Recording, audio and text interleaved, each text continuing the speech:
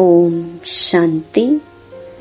तेरह नवंबर 2021 बाबा के महावाक्य। मीठे बच्चे, मैं तुम बच्चों के लिए हथेली पर बहिश्त लाया हूँ। तुम मुझे याद करो तो स्वर्ग की बादशाही मिल जाएगी। प्रश्न बेहद की खुशी किन बच्चों को निरंतर रह सकती है? उत्तर, पहला, जिन्होंने बेहद का संन्यास किया है और संग तोड़ एक संग जोड़ा है। वही निरंतर खुशी में रह सकते हैं। दूसरा जो फॉलो फादर करते हैं, जिन्हें सर्विस का शौक है, उनकी खुशी कभी गायब हो नहीं सकती। गीत छोड़ भी दे आकाश सिंहासन। ओम शांति। मीठे मीठे रूहानी बच्चों ने गीत सुना। यह किसने कहा? बाप ने बच्चों को कहा कि गीत सुना। जब अति दुख होता है, तब बुलाते हैं। बच्चे जानते हैं कि बाप ही सुख धाम व पावन दुनिया रचते हैं, अथवा भगवान भगवती का राज्य स्थापन करते हैं। भगवान और भगवती जैसे स्वर्ग के मालिक ठहरे। तुम देखते हो, लक्ष्मी नारायण कितने धनवान थे, कितनी बड़ी राजधानी थी। उनकी राजधानी में कभी कोई उपद्रव होता नहीं। बाप बच्चों को वर्षा ही ऐसा देते हैं तो कितनी खुशी में रहना चाहिए। परंतु नंबरवार पुरुषार्थ अनुसार तो है ही। कोई कोई तो पूरा ज्ञान ना उठाने के कारण ना वहाँ की खुशी में रहते हैं और ना यहाँ की खुशी में रहते हैं। उनको कहते हैं दोनों जहाँ से गए। क्योंकि बाप से वर्षा लेते लेते गिर पड़ते हैं। दुनिया में यह किसको मालूम नहीं कि भगवान आकर स्वर्ग स्थापन कर रहे हैं। क्योंकि वह आते ही हैं गुप्त रूप में। कहते हैं, ज़रूर भगवान, इस समय होना चाहिए, क्योंकि सब घोर अंधियारे में हैं।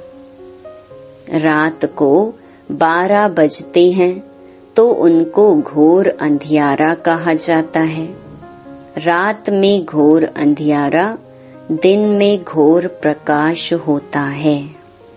बच्चे जानते हैं, अब भक्ति मार्ग की रात पूरी होती है, जिसमें दुख ही दुख है। मनुष्य समझते हैं, भक्ति के बाद भगवान मिलता है। तुम जानते हो, बाप ही आकर हम सबकी सदगति करते हैं। तुम बच्चों में भी नंबरवार तो ज़रूर हैं। कोई का तो खुशी का पारा चढ़ा हुआ रहता है। मेहनत भी खुशी से करते हैं। सर्विस का शौक रहता है कि कोई को जाकर समझाएँ।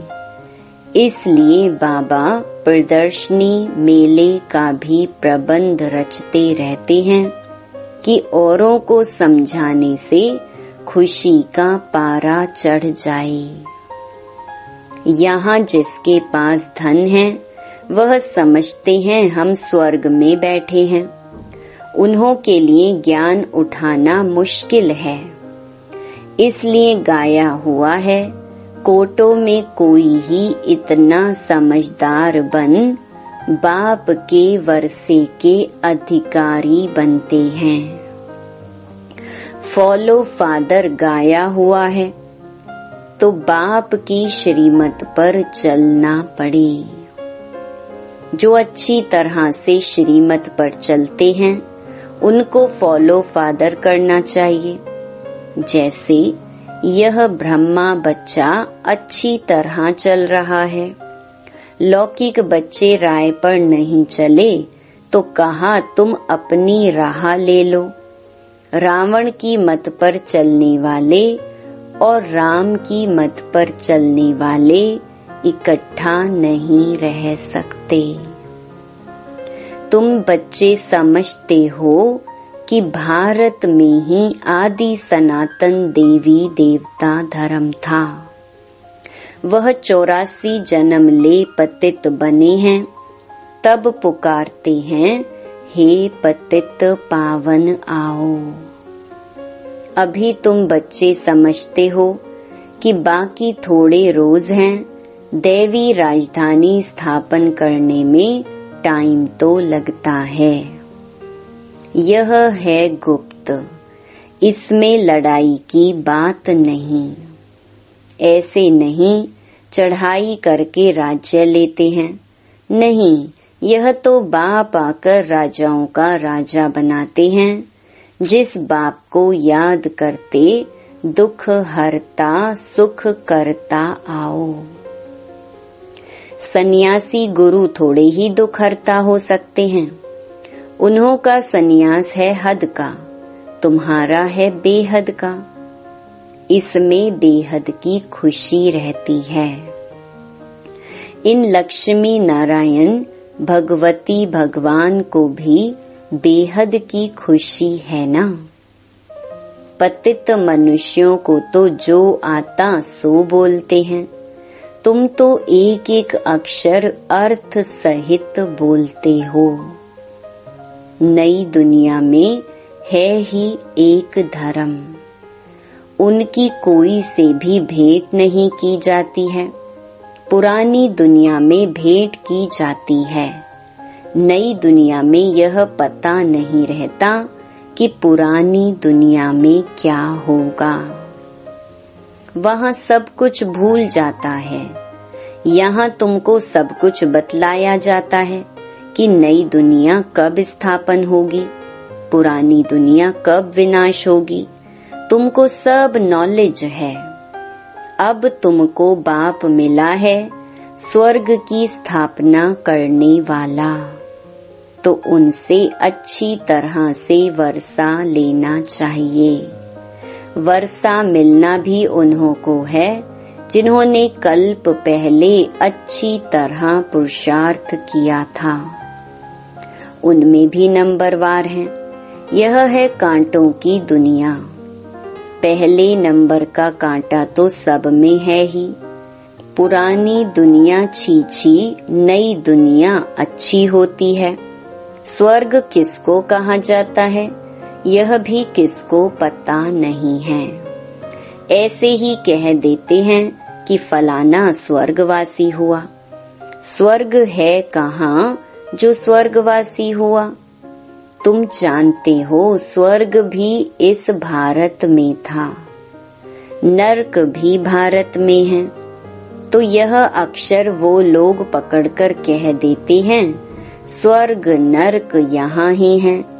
जिनको बहुत धन है, वह स्वर्ग में है। परंतु ऐसे नहीं है। भारत नया था तो सतयुग था। जिसको स्वर्ग कहा जाता है। अभी पतित दुनिया नरक है। दुनिया तो एक ही है।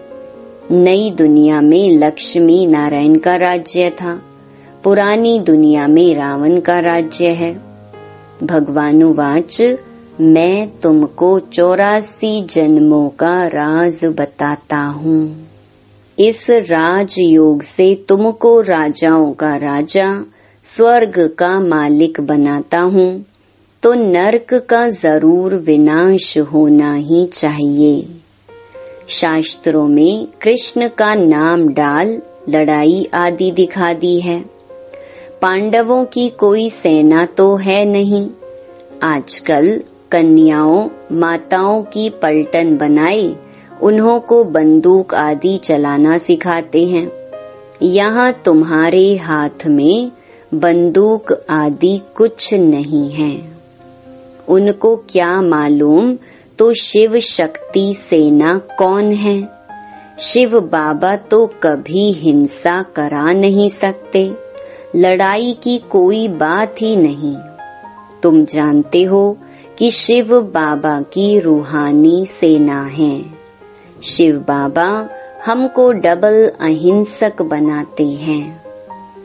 उनको कहा जाता है हंड्रेड परसेंट नॉन वायलेंस यहाँ है हंड्रेड परसेंट वायलेंस हिंसा। एक ही बॉम्ब से कितनों का विनाश कर देते हैं? बेहद के नॉन वायलेंस और वायलेंस में कितना फ़र्क है? तुम अभी इस समय बेहद की साइलेंस में हो। उस तरफ़ जितना लड़ाई की तैयारियाँ होती जाती हैं, उतना आवाज़ बढ़ता जाता है। कितना हंगामा होता है विनाश में। स्थापना में तो कितनी साइलेंस में बैठे हो, हिंसा की कोई बात ही नहीं। तुम्हारी अब प्रैक्टिकल लाइफ है, बाप से योग बल द्वारा वर्षा पा रहे हो। बाप अल्फ को याद करने से स्वर्ग की बादशाही मिलती है। कितना सहज है। बाप कितना मोस्ट बिलवेड है। कितना दूर देश से आते हैं। जैसे विलायत से किसका बाप आता है तो बच्चे बहुत खुश होते हैं। बाबा, हमारे लिए विलायत से अच्छी अच्छी सौगात लाएँगे। यह बेहद का बाप तो एक ही बार आता है। कौन सी सौगात ले आते हैं? कहते हैं, मैं तुम्हारे लिए हथेली पर बहिश्त ले आया हूँ। जैसे कहते हैं, हनुमान संजीवनी बूटी का पहाड़ ले आया। अब पहाड़ तो कोई उठा नहीं सकता है। वैसे ही बाप कहते हैं, मैं हथेली पर बहिश्त ले आया हूँ। अब बहिश्त कोई हथेली पर थोड़े ही उठता है। यह तो समझ की बात है। बच्चे तो जानते हैं, बाबा हमारे लिए नंबर वन सौगात लाए हैं। बाप कहते हैं, मैं आया हूँ तुमको पावन दुनिया का मालिक बनाने तो पावन बनना पड़े। यह राजयोग है ना? भारत का प्राचीन राजयोग गीता के भगवान ने ही सिखलाया था और राजाई दी थी। अब फिर से राजयोग सिखला रहे हैं। तुम कहते हो कि हम स्वर्ग की स्थापना करने वाले बाप के बच्चे हैं। बाप नई दुनिया स्थापन करते हैं तो ज़रूर किसी को तो बादशाही मिली होगी ना। ऐसे भी नहीं, सिर्फ़ स्वर्ग में रहने वालों को ही बाप ने दिया होगा, और सबको भी तो बाप देते हैं ना। बाकी सबको ड्रामा अनुसार मुक्ति का पार्ट मिला हुआ है। सब मुक्त हो जाते हैं। एक ही बाप सर्व का सदगति दाता है, दूसरा ना कोई। तुम्हारे पास प्रदर्शनी में जो नामी ग्रामी आते हैं, जो मानते हैं कि बरोबर गीता का भगवान श्री कृष्ण नहीं है, शिव है तो उनसे लिखवा लेना है। बड़े आदमियों की ही बात को सुनेंगे। गरीब की तो कोई सुनते नहीं, इसलिए प्रदर्शनी में कोशिश कर यह लिखवा लो, गीता का भगवान एक ही है। वह सबका बाप है। आज से पाँच हज़ार वर्ष पहले भारत स्वर्ग था, लक्ष्मी नारायण का राज्य था। अभी तो सारे विश्व पर रावण का राज्य है। यही सबका दुश्मन है, जिसको वर्ष वर्ष जलाते हैं, फिर भी मरता नहीं है। अभी भारत का बड़ा दुश्मन यह रावण है। यह बात सिर्फ़ तुम जानते हो। अब राम परम पिता परमात्मा रावण पर जीत पहनाते हैं।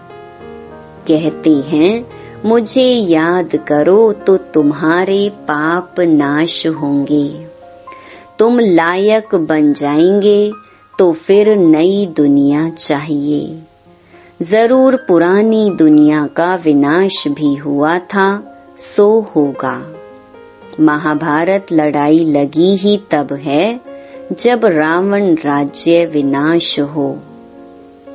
राम राज्य स्थापन होता है। रावण राज्य में ही हाहाकार शुरू होता है। हाहाकार के बाद जय जयकार होती है। दुनिया बदलती है। जैसे पुराना घर तोड़ नया बनाया जाता है, फिर तोड़ा जाता है, यह भी स्थापना हो रही है। बॉम्ब्स आदि बनाते ही रहते हैं, तैयारियाँ हो रही हैं अभी दशहरा आया तो रावण की एफिजी भी निकाली। तुम्हारी है बेहद की बात। तुम्हारी बुद्धि में आता है, यह क्या करते हैं? तुम जब समझाएँगे, तब समझेंगे हम यह क्या करते हैं। हँसी भी आएगी। किसको भी समझा सकते हो, इतना बड़ा रावण तो होता ही नहीं। अब बाप कहते हैं तुम राम राज्य लो। पाँच विकारों का दान दो, ग्रहण छूट जाए। बाप आकर समझाते हैं, यह पाँच विकारों का ग्रहण सारी दुनिया पर लगा हुआ है। बिल्कुल ही काले हो जाते हैं। तुम बच्चों को तो अथा खुशी होनी चाहिए, बाकी थोड़े रोज हैं। तुम अभी क्रिएटर डायरेक्टर मुख्य एक्टर्स ड्रामा के आदि मध्य अंत को जानते हो। और कोई नहीं जानते। तुम्हारी अब स्वच्छ बुद्धि बनी है। तुम बाप के बने हो तो ज़रूर स्वर्ग में भेज देंगे। Knowledge is source of income कहा जाता है। यह है रूहानी नॉलेज जो बाप ही देते हैं। मनुष्य मनुष्य को दे नहीं सकते। दुनिया में सब मनुष्य मनुष्यों को नॉलेज देते हैं। तुमको तो बाप सुप्रीम सोल आकर ज्ञान देते हैं। बाकी सब हैं भक्ति मार्ग की दंत कथा सुनाने वाले। सत्य नारायण की कथा, रामायण की कथा, जो पास्ट हो गया है वह कुछ न कुछ बनाते रहते हैं। यह तो है पढ़ाई। पढ़ाई में हिस्ट्री, ज्योग्राफी सुनाई जाती है। यह है वर्ल्ड की हिस्ट्री, ज्योग्राफी ह्यूज। तुम समझाते हो, बाबा ने पाँच हज़ार वर्ष पहले भी कहा था। वह गीता पढ़ने वाले थोड़े ही कुछ समझते हैं। यादव, कौरव, पांडव किसको कहा जाता है? तुम प्रैक्टिकल में देखते हो। यूरोप वासी यादवों ने मूसल निकाले। विनाश हुआ। विनाश के बाद क्या हुआ? वह कुछ नहीं दिखाते हैं। वह समझते हैं प्रलय हो गई। वह कहते हैं, तुम शास्त्रों को मानते हो? बोलो हाँ। हम शास्त्रों को जानते हैं, मानते हैं। यह सब भक्ति मार्ग के हैं। ज्ञान तो एक बाप ही सुनाते हैं, जो ज्ञान का सागर है। अब भक्ति खत्म हो, ज्ञान जिंदाबाद हो रहा है। पुरानी दुनिया का विनाश सामने खड़ा है।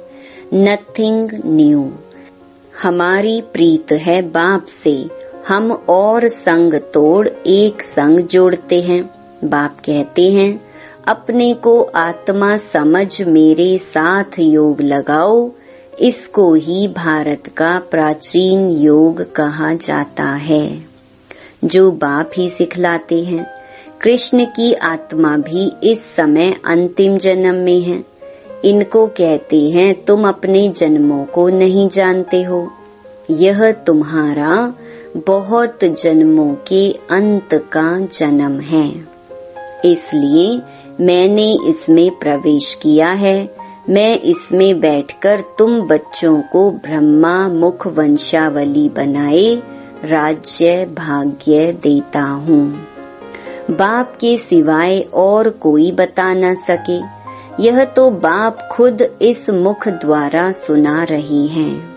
यह बाबा भी पहले कुछ नहीं जानते थे, तुम भी कुछ नहीं जानते थे। भारतवासियों को ही समझाना पड़े। चौरासी जन्मों का चक्कर कैसे फिरता है? यह वही लड़ाई खड़ी है, जिससे स्वर्ग के गेट खुले थे। जबकि बाप ने आकर राजयोग सिखलाए, मनुष्यों को देवता बनाया था। अच्छा मीठे मीठे सिकिलधे बच्चों प्रति मात पिता बाप दादा का याद प्यार और गुड मॉर्निंग। रूहानी बाप की रूहानी बच्चों को नमस्ते। धारणा के लिए मुख्य सार। पहला, जो अच्छी रीति श्रीमत पर चलते हैं, उन्हें फॉलो करना है। बेहद की खुशी में रहने के लिए आप समान बनाने की सेवा करनी है। दूसरा, प्रीत बुद्धि बन और संग तोड़ एक बाप से जोड़ना है। डबल अहिंसक बन, साइलेंस में बैठ अपनी राजाई स्थापन करनी है। वरदान, मर जीवे जन्म की स्मृति द्वारा, कर्म बंधन को संबंध में परिवर्तन करने वाले परोपकारी भव। लौकिक कर्म बंधन का संबंध अब मरजीवे जन्म के कारण श्रीमत के आधार पर सेवा के संबंध का आधार है। कर्म बंधन नहीं, सेवा का संबंध है। सेवा के संबंध में वैरायटी प्रकार की आत्माओं का ज्ञान धारण कर चलेंगे तो बंधन में तंग नहीं होंगे। लेकिन अति पाप आत्मा, अपकारी आत्मा से भी नफरत व घृणा के बजाय रहमदिल बन, तरस की भावना रखते हुए सेवा का संबंध समझकर सेवा करेंगे तो नामी ग्रामी, विश्व कल्याणी व परोपकारी गाए जाएँगे। स्लोगन, समय व परिस्थिति प्रमाण, वैराग्य आया तो यह भी अल्प काल का वैराग्य है, सदा काल के वैरागी बनो। ओम शांति।